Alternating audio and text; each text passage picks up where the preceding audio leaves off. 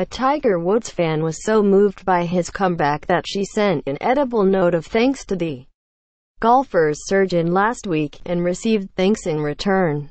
Claire Rogers, 23, a senior at Boston College who has a 13 handicap and also enjoys watching golf, said she had the idea when Woods began the Arnold Palmer Invitational with a 68 after tying for second the previous Sunday at the Valspar Championship. My roommates think I'm insane. Rogers said Thursday by phone. An intern the past two summers at Golf Digest. Rogers said she was disappointed about not getting to watch Woods play as he recovered from back problems. His latest procedure, a spinal fusion, was performed on April 19, 2017, with Woods now playing well and stating on numerous occasions that he is pain-free. She felt thanks to the doctor were in order.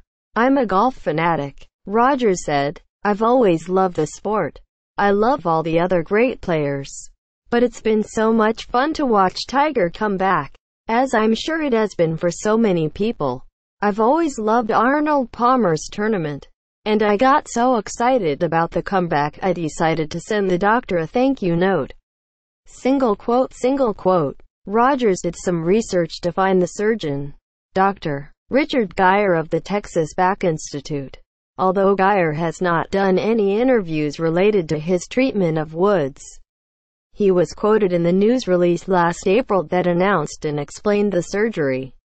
Called anterior lumbar interbody fusion surgery. Guyer, an orthopedic spine surgeon, described Woods' surgery in the release as a minimally invasive fusion at the L5-S1 vertebral segment at the base of the spine and it involved removing Woods' damaged disc and re-elevating the collapsed disc space to normal levels, which allowed one vertebrae to heal to the other.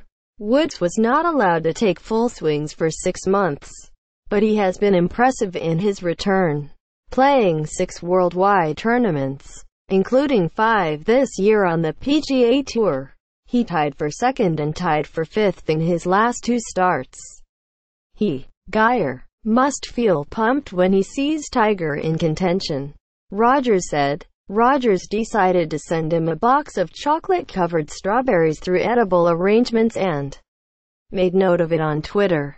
After receiving the gift, which cost $46, Guyer sent Rogers a note via Twitter the next day with before and after photos.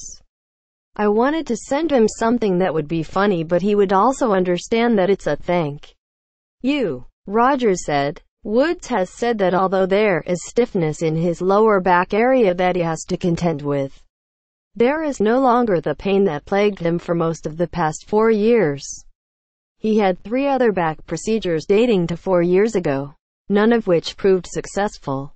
Rogers, who is from East Providence, Rhode Island, is scheduled to graduate this spring and is looking for a job in the golf business.